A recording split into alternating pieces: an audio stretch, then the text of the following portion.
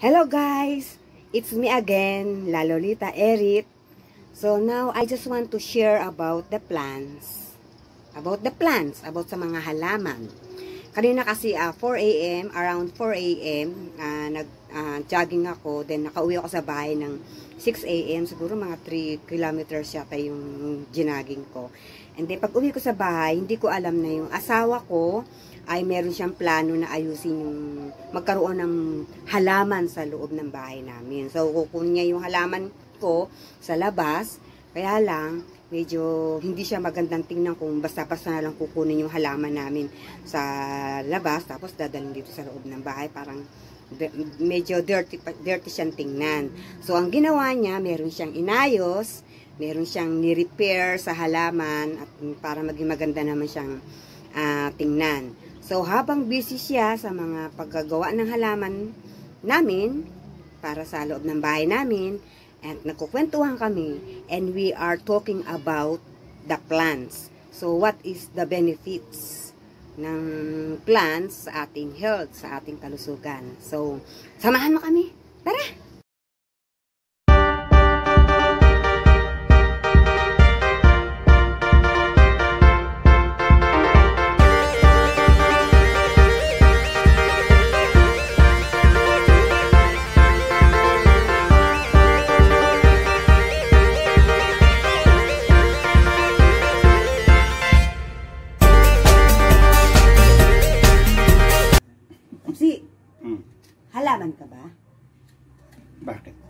Kasi pagkasama kita, nare-relax ako. Eh. Hello. Hello guys. Ito po ay ano. Ano ba pinagkakaabalahan natin dyan, ha? Ito ay lumang timba na may butas. Lumang Ginawa ko para mapakinabangan. Bigyan ko ng ano, ng epoxy para kung sakali. Kasi itong plano ko, lalagyan ko to ng halaman eh. Yung halaman na ilalagay ko dito is yung uh, ano, isang uri ng halaman na snake plant. Papakita ko sa inyo ha. Pero hintayin nyo to bago magawa. Pero kunin ko muna yung halaman ilalagay ko dito. Yan mga guys. Yan. Ano?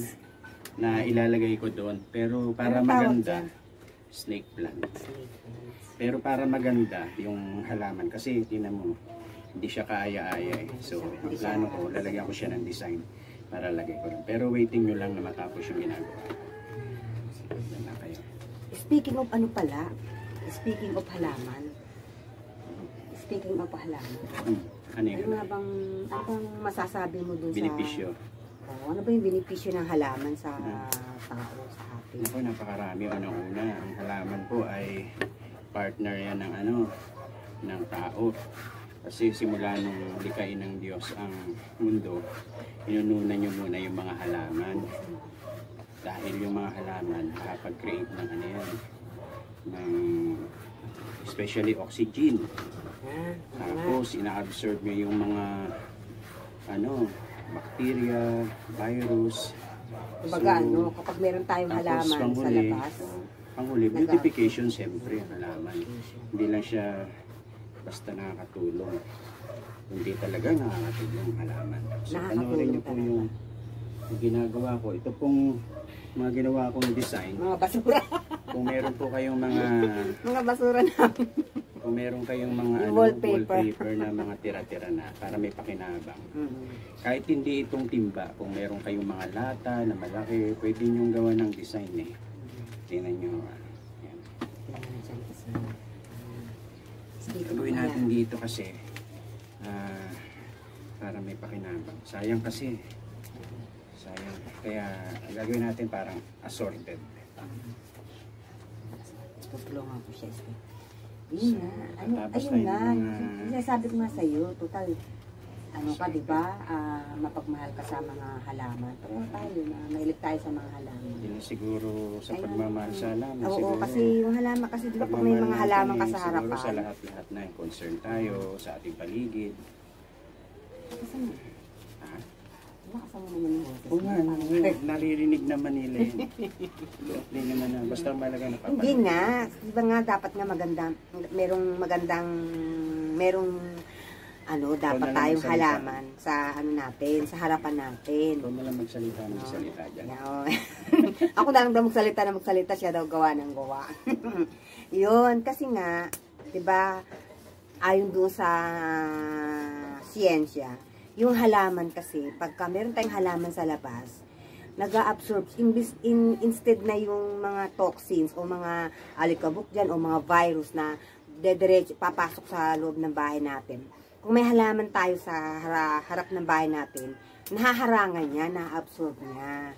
Na-absorb niya yung mga ano yung mga masasamang amoy. Katulad niyan, dito sa harapan ng bahay namin, may mga may mga sasakyan, yung malabas yung pag dumadaan sa harapan namin, yung mga usok, ayan, pumapasok sa loob ng bahay namin. Kaya kung meron kung wala tayong halaman sa labas ng bahay natin, ano na mangyayari? Lahat ng usok, 100% papasok pa sa loob ng bahay namin. At least, kahit papaano, mababawasan yung usok na pumapasok sa bahay namin. Kapag may mga sasakyan na kung bumuga ng usok ay ganun-ganun na lang. Diba? Kaya maganda talaga na merong ano. Ito, itong ginagawa niya, itong, ito po, ayan, tawag dito papsi. Ang tawag dito ay parang snake plants ba? Ah, snake. Snake plants. Ito yung pinaka, itong halaman na to yung pinaka, mm, ano siya, pinaka strong siya. Siya yung pinaka mm, malakas mag-absorb ng mga alikabok, ng mga germs. Yan sa ano, sa, ano, siya yung nag, pinakamalakas humarang ng ng ano ng mga alikabok, ng mga germs, ng mga hangin, ng masasamang hangin. Ayan. Then, tapos, eto na nga, para, tinan mo naman ang itsura niya, oh. Tinan mo yung itsura niya, kaya-aya bang tingnan, oh. Yan, ang gusto niya, magkaroon kami sa loob ng bahay, ng ganito. Kaya, yung timba na, medyo sira-sira na. Ayan, gagawin, ginawa na ng asawa ko. Marami pa kami mga ano dyan, eh, mga sira-sira pang mga kung anong mga kaik, mga kung ano-ano. Ayan, gagawaan niya ng design. Tapos, hiwa-hiwalayin niya, hiwa-hiwalayin niya to para maganda naman siyang tingnan, di ba?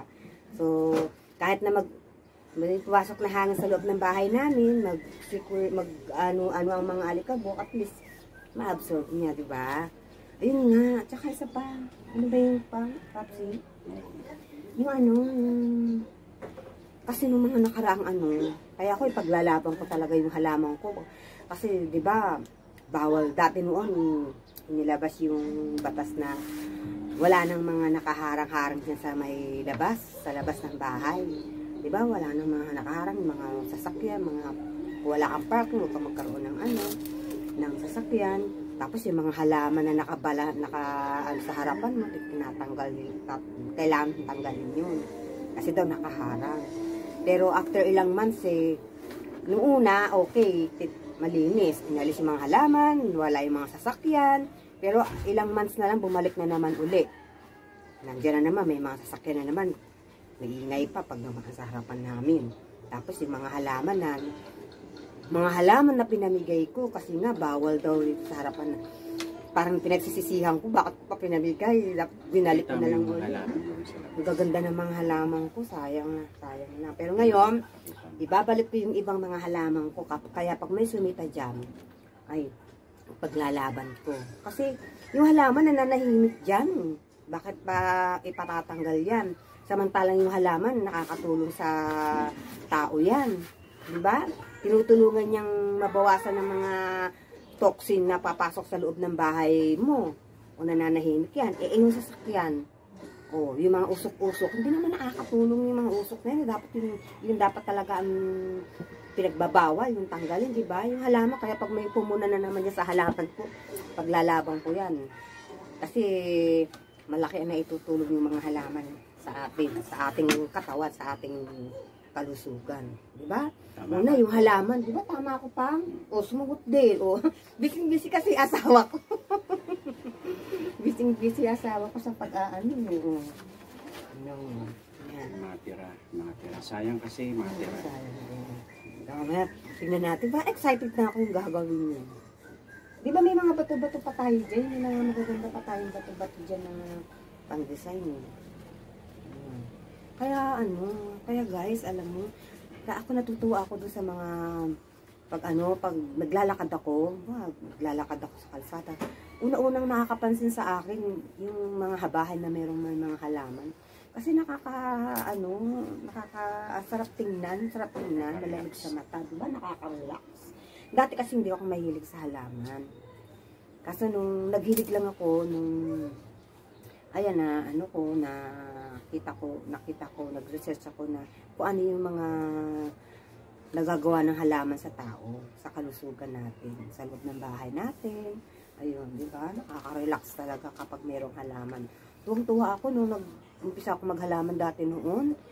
Talagang maghapon ako, nandun ako sa halamanan. Para lang magtanim-tanim ng mga ano. Eh kaso, yung ibang halaman kong nabuhay na kaganda-ganda na ng tubo, eh, wala na, inano. Pinamigay ko kasi nga, pinagbabawal nga sa loob, sa loob ng bahay namin. Ngayon, magbabalik ako ulit ng mga halaman namin. Kasi yun, um, ito snake plants, oh. Subukan nyo. Pag na-research kayo, may mga halaman na, may mga halaman na, ano eh, na malakas siya makapag-absorb ng mga germs. No, instead na papasok sa bahay, nahaharangay niya agad. Yung mga mga amoy-amoy, mga amoy basura, amoy kung ano-ano dyan. Ayan. Kung anong mabahong amoy, na, na ano niya yun, nahaharangay niya. Nahaharangay niya sa loob ng bahay. Ayan. Yan ang ginagawa niya. Oh. Yan ang ginagawa ng asawa ko. Hmm. Ilalagay niya ng design talaga. Tapos, ito ila, yan, magbabawas siya nito. Yan, aayusin niya yan para maging maganda yung tubo, para manganak siya. Ayan. Ayan siya. Tapos kukuha kami ng mga sira-sira dyan ng mga, gagawin namin cycle. Ano, yung bahay namin. Di ba? Siya siya talaga. Yan ang, uh, yan ang ano, yan ang nagagawa na, nagagawa na walang, walang pasok yung asawa ko. Hindi pa, walang trabaho pala. Wala siya ng trabaho. Simula nung nagkaroon ng, alam mo na, di ba? Simula nung nag-lockdown yung hotel, nawala na siya ng trabaho, nalirap siya sa, ano. Pero, kahit nawala siyang trabaho, may trabaho pa rin siya rito sa bahay. Siya yung tagaluto, siya yung taga-palengke. siya lahat dito, siya taga-ugas. Ayan, di ba? Ang bait na asawa ko, no? Hindi lang mabait, ang gwapo pa. Hmm. di ba? Baka ah, gusto mo ng kape. Hindi na. You want coffee? Okay. I'm okay. Ah, you are okay. Next What time you na want? Oh, next time. Coffee lover din kami. Kaya lang kasi nakapagkape na kami kanina. Kaya ah, mamaya may ng konti mga ilang oras yan mag, mag, ah, magpapatimpla na naman yan uli ng kape. Diba? Mm.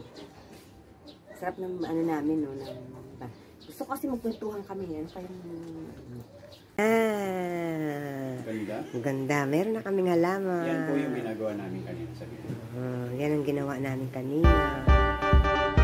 Ah, nilagay niya ng pang